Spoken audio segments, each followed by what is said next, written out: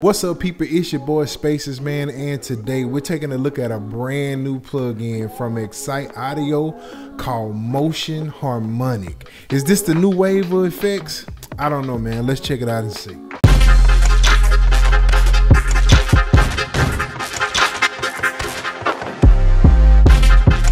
Now, before we get started, make sure that you subscribe if you're not a subscriber. Make sure that you like, make sure that you comment, all those different things that you could do for free. get those things taken care of. Let's take a look at Motion Harmonic. Now I have to say, now you already know I don't bring nothing to this channel unless it's something that I enjoy using. And this one right here is one that I truly enjoy using. It's an interactive sound shaping effect chain that is designed to add movement to your audio. Now, let's be honest. In the world of plugins and VSTs, it is hard to catch the attention of users because there are so many different things that all come to one common goal. They can be done by other things. But when you have one that add movement and you have one that combine a bunch of different effects to make one, it becomes very interesting. And for myself, every now and then I come across that one that just grabs my attention. And this is one of them. Now, the idea of this from Excite Audio is to ignite your creative flow. And you know, over here, we're all about creation and being creative. So, you know, this was one that I just had to jump on. Now, there's three main parts of this that they're really focusing on, which is distortion filters, and bit crushing. It has some dynamic responses to transforming your audio. And it has this automated 3D hexagon controller that allows like movement to sound. And you know this stuff is right up my alley. It even offers six macro sliders that can be assigned to control any part of this effect chain that they have here. It's crazy because the sliders react to this uh, magnetic kind of feel you can kind of push it away, you can kind of pull it to you. You'll understand it a whole lot better once I show it to you. Right now, you can get this at Plug-in Boutique for $49. $49 you can have this. There's also a light version for $29.99. I do have some affiliate links in the description, and you already know if this is something that you would use, go ahead and purchase. There's no difference in the price. It just helps the channel allow me to continue to get different things like this and test it before you spend your money on it. And if you want to, you can go ahead and screenshot right here. This is the difference between the full and the light. Okay, so let's break this down. And it's very, very important that you understand the three main parts of this effect chain, which is bit crushing, distortion, and filtering it will allow you to kind of really understand what you're doing and why you're doing it. But also, if you decide that you just want to go crazy with it, just go crazy with it. You never know what sound you create. So have fun. Now, what I'm going to do is I'm going to leave a link in the description that's going to give you a full breakdown of it. I just want to kind of focus on the way it looks and the way it sounds. That's kind of where I stick to. So with that in mind, I want to go over some of the presets and then I'm gonna show you how to create your own and then we'll just kind of see what it sounds like and go from there. Here it is. This is Motion Harmonic. As you can see, it is bubbling. It's bubbling right here in front of your face. Um, now this thing here is broken down into many different pieces. Uh, this is an area where you can bypass it or activate it here. You can actually play your animation here. This is settings. You can add different things here and I'll tell you exactly how this all operates once I show you how to create them. This right here is an in and out puts and if you go up here to the top and you click this little area here, this is where you can activate your full copy here. If you click this little button here, it's going to open up the actual settings that you can use and this will activate where your cursor, hexagon, your pathway, your timeline, all that good stuff. And you'll kind of understand what all this means once we start doing this. So let's check out some of the presets. And what I'm gonna do is I'm gonna break this down in a couple different parts. I have a vocal, I have drums, I have like a synth, and I have a bass. And we're gonna, out of those four, I'm gonna show you what opportunities are there for your sound and creating your own signature sound. All right, so the first thing we're gonna do is check out some of the vocals. I have a vocal that I already have in place here. I'm just gonna play it so you can hear what it naturally sounds like. I could take you anywhere. All I see is you and me. I could take you anywhere. We don't have to hide, to hide, to right? And so now what I'm gonna do is I'm gonna go to the area here. This is gonna bring up the browser. And so you have all these different categories that you can use, different filters. You can set up your favorites, your path cursor, your effect and mapping. I'm going to show you what all of that means. Don't even worry about it. But right now, what we're going to do is click on vocals and let's kind of go through a couple of these vocals to see what they sound like. I could take you anywhere. All I see is you and me. I could take you anywhere. We don't have to hide, to hide, to hide. I could take you anywhere. And so what I want to do is I want to kind of show you how this is all set up. So you have this cursor here and you have these different things and all of this will tell you exactly what it does if you hover over it. The main thing that I want you to see is that this attract and this repel. What that means is, is that when you see this bubble, it's going to be a magnetic field. So it's going to pull towards it when you have the repel is going to be like a negative magnet and it's going to push it away from it right so as long as i have attract in it's going to like go to wherever i have my mouse where you can see that bubble i'm going to hit this for repel and it's going to kind of push it away right so now if i play this I could take you anywhere. All I see is you and me. And so you hear I could take you anywhere. the different sounds in it, right? So what I'm gonna do is I'm gonna pick another one, and this one, if you notice this little deal here, this will give you a path and a cursor. And so what I'm gonna do, let's just do like second vocal, right? And so now I'm going to play this, and I could take you anywhere. You hear the All difference. I see is you and me. what's going on. Now, the main thing here that I want to show you is this little circle right here. This little circle right here is a pathway. And what I'm going to do is that I'm going to change this to repel. And then I'm going to hit this little play button here and it's going to react to this circle and it's going to make these little dots do some different things and create some different sound. So let's see what this sounds like. I could take you anywhere. All I see is you and me. I could take you anywhere. We don't have to hide, to hide, to hide. Now this is very subtle. Now one thing I want to do is is that I want to come here and I'm going to change a couple things, right? So I want this to keep going like it's going, but I'm going to speed this up here. If I drag it down, it's just going to speed it up, right? and I can sync this to re-trigger. What that is going to do is every time this loop goes around again, it's going to reset this to re-trigger.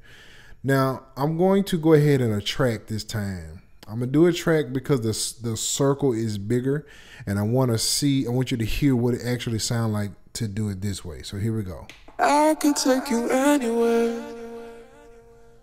All I see is you and me.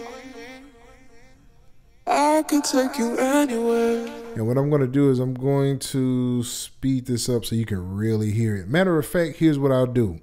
I'm going to come here to the timeline. I'm going to double click here. It's going to create a little pinpoint. I'm going to drag this up. I'm going to do this one here. I'm going to drag it down.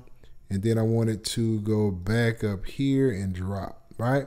So it's going to work in this where it's going to speed up, slow down, speed up, slow down. And I'm going to leave it at one fourth. And matter of fact, I think I might even make it a little faster just so you can hear it. And so I'm going to go ahead and play this. I could take you anywhere. All I see is you and me. I could take you anywhere. We don't have to hide, to hide, to hide. Right. It's very subtle on this particular one. Um, later on, I'm going to create one, and then you'll really get a chance to really hear what it sounds like. So what we're going to do now is we're going to move on to the bass. I want you to hear that, and we'll see what kind of presets they have to show what the bass does. All right, so I have the bass here, and that bass is very simple. It's going to play like this. I could take you anywhere. All I see is you and me. I take you anywhere. We don't have to hide,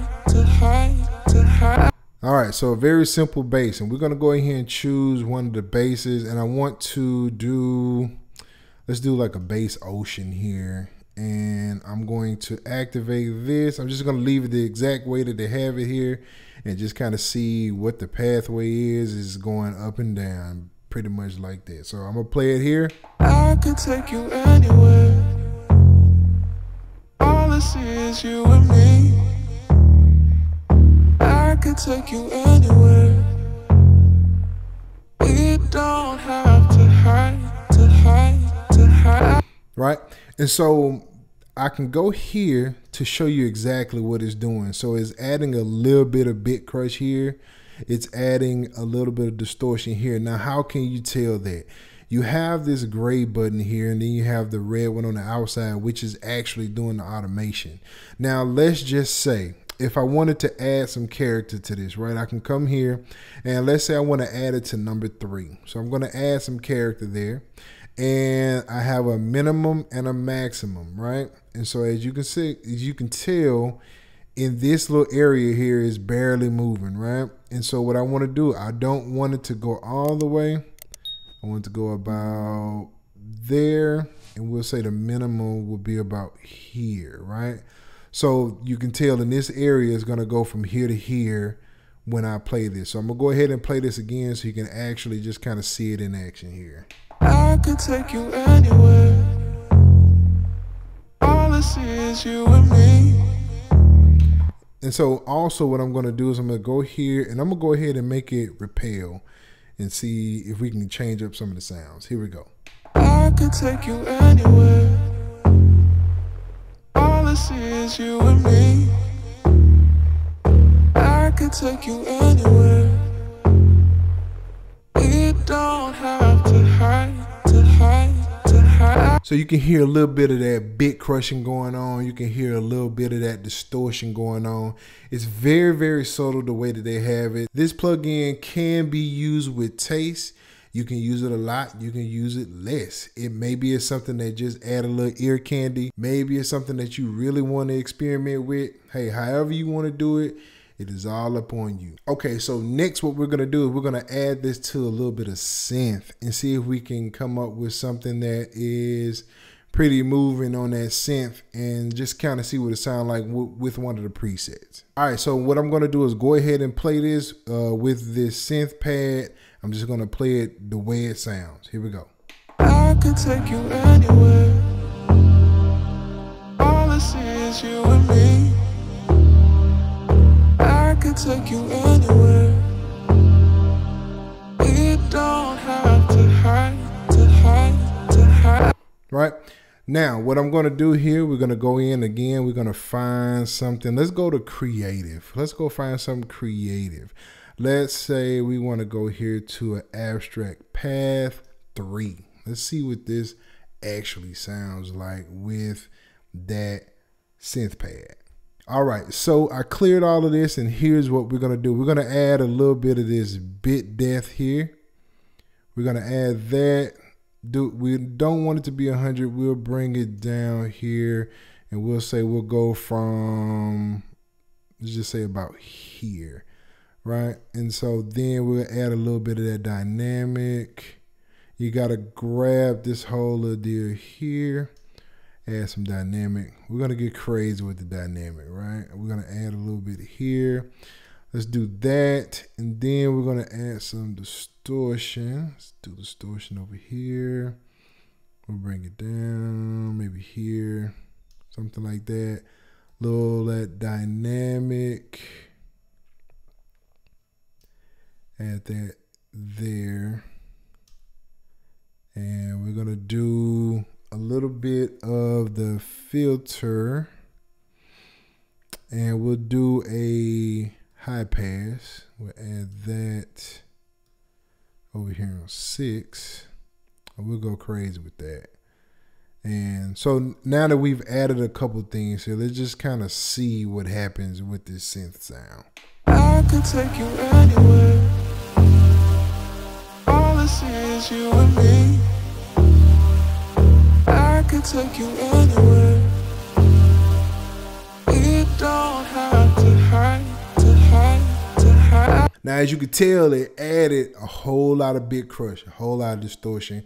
We just kind of went crazy with it. It probably wouldn't be something that I would normally do, just depending on what the actual sound of this track is that we're working on. But what I want to do now is add drums and let's see what we can come up with with the drum. All right, so now we have drums on here. I'm gonna go ahead and play what we normally have right now.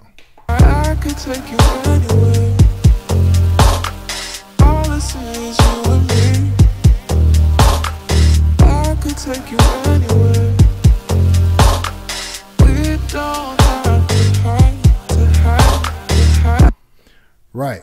So now let's go ahead and we're gonna find something in the drums and we're going to I don't know, let's do um they got so many different things you can do with this.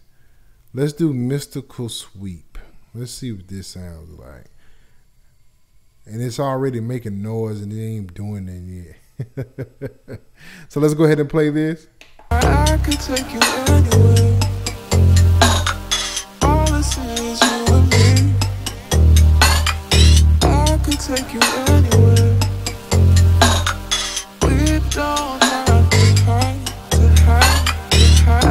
This can be very, very interesting when it comes down to drums because that almost sounds like something that you can kind of add at the end going into a transition. Maybe you want to go into like the chorus, maybe you want to go into a breakdown or something like that can be really dope with that if it's did correctly, right?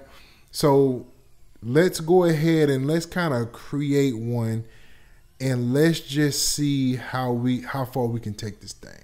Let's check it out. Okay, so now that we see what it's already doing, so what we're going to do is we're going to come here and we're going to create one on our own. So we see the timeline is doing what it's doing. So we're going to go ahead and stop that timeline, right? Now, we see this line is just a straight line. That's that's all it's doing is just coming here and going back. So what I'm going to do is I want to draw and I'm going to take my little pen here. This is going to be to add points to the path, right? So I'm going to take this and then I'm going to go here with it. I'm going to go up here. Then I'm going to go here and here. Let's just do, we just clicking something, right? And if you ever want to take one away, you can hit this and then just erase it. But we're going to go ahead and add it here just like that. And we're going to kind of end up back over here in this area, right? Now, you can also record this if you wanted to. If you hit record and you just kind of move it around and it'll follow whatever you do. But right now, for this particular demonstration, we'll do it like this. We're going to go ahead and activate play and then we'll go ahead and play from here.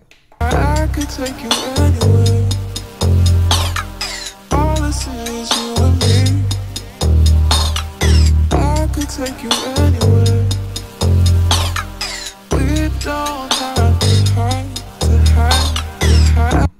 Right, so again, what we're gonna do from here, we're gonna go ahead and double click. We're gonna speed it up here. Then we're gonna bring it down here like this. And just kind of see what we get here. Here we go. I could take you anywhere. All is you and me.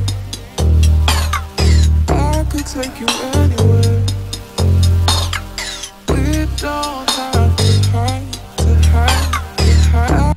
Okay, and so now that we have drawn in what we want this to do, I have this triggered here to turn this on and off. So it's basically bypass and activate. And so what I'm going to do is is just kind of play this in a way in real life situation and what this could look like based on the actual track. So here's what it would sound like. First we'll do it off. I could take you anywhere. All I see is you and me. I could take you anywhere.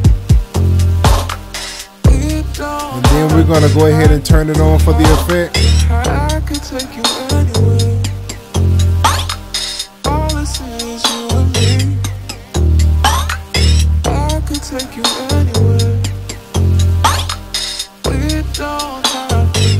Turn it back off.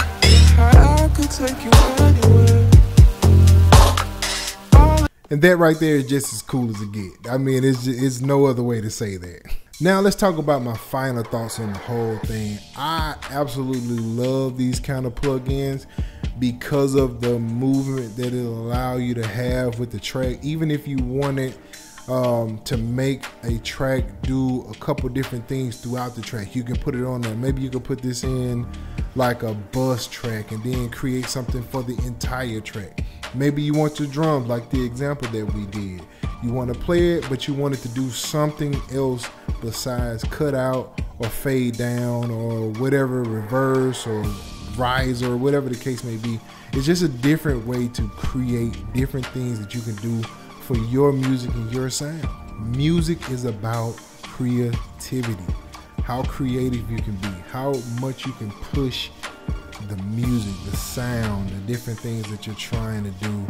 How creative can you be? How unique can you be to your own created sound? So, if this is something that you're interested in, remember there's a link in the description. It's an affiliate link, goes to the channel, but you can get this, be a great arsenal to your repertoire. So, click that link to get your copy of Motion Harmonics. And as always, before I sign out, what will you do with your creative spaces?